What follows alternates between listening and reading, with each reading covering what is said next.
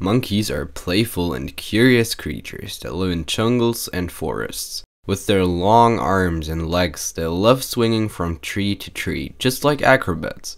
Monkeys have furry coats in various colors like brown, black, or even bright red. They enjoy munching on fruits, leaves, and insects. These clever little primates communicate with funny sounds and gestures, making them great friends to watch and learn from.